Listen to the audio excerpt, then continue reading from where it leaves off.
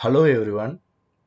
Today I am going to explain you how to develop a SAML application by using Okta in Spring Boot.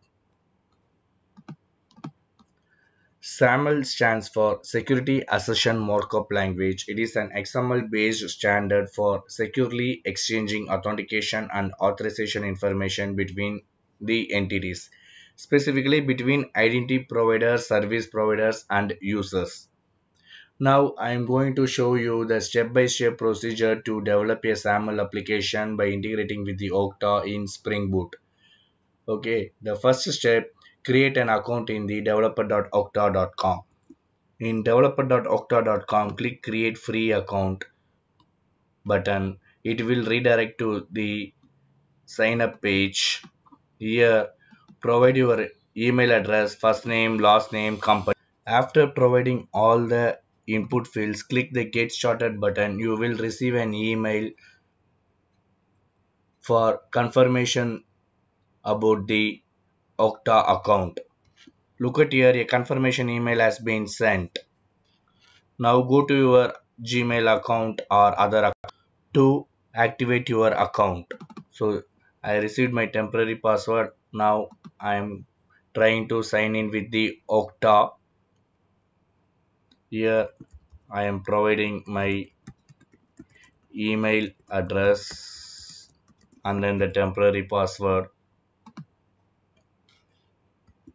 When you are trying to first time login you will be asked to provide a new password after providing a new password and then the forget password question after answering your forget password question choose your security image and click create my account button. The account will be created in the developer.okta.com so look at here this is your main dashboard account.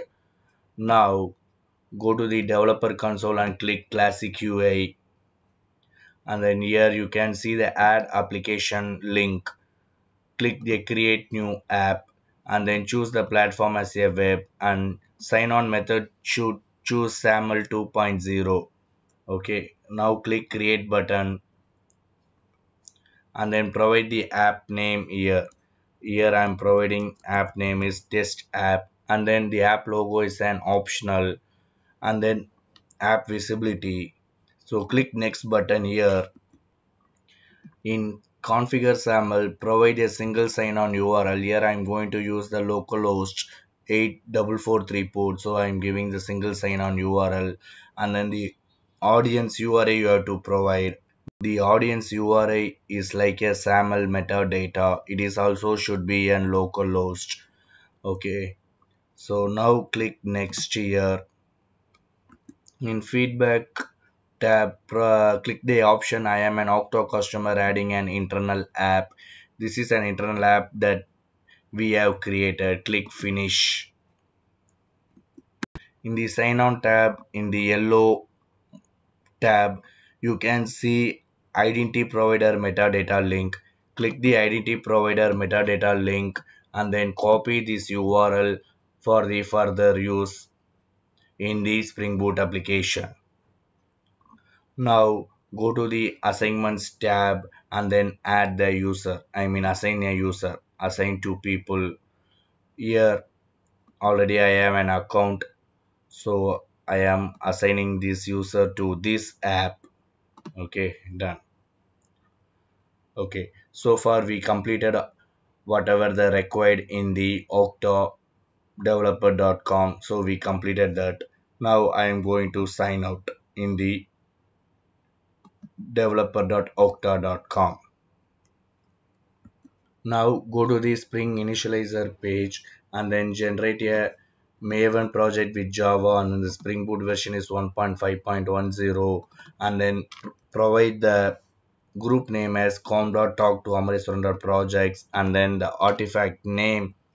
It is like artifact name I'm going to provide SAML app.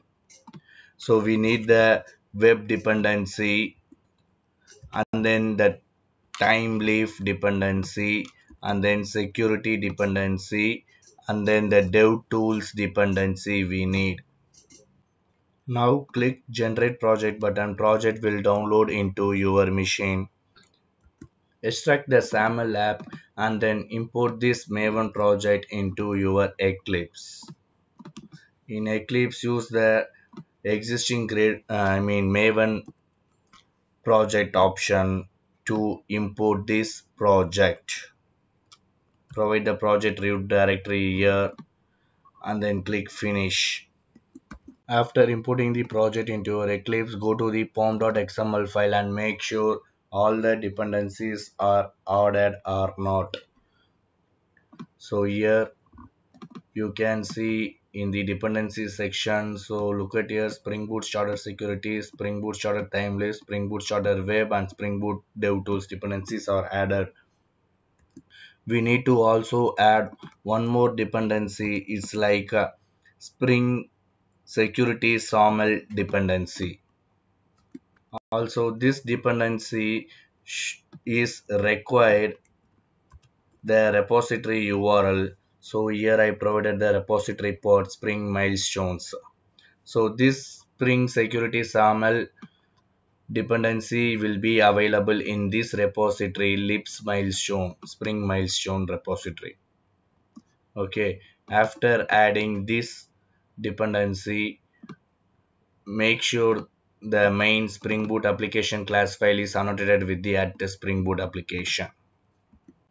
Now go to the application.properties and add the SSL enabled properties such as the server port number is 8443, server SSL enabled is true, server SSL key alias name I'm going to provide Spring and then the key store file path I'm going to generate the key store file in the class path and then the key store password I'm going to use secret okay? And then provide the security SAML metadata URL here in the application.properties file. Now I am going to generate the keystore.jks file in the class path. In the class path, generate a generate a keystore file.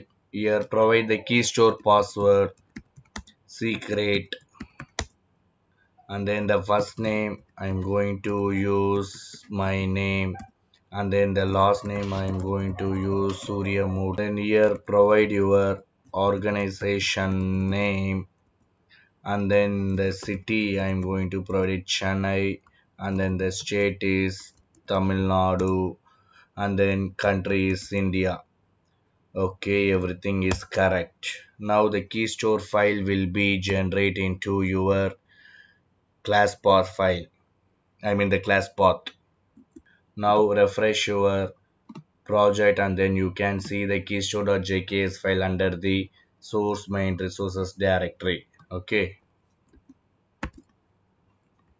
Now create a security configuration class file that extends the superclass security web configure security configurer adapter.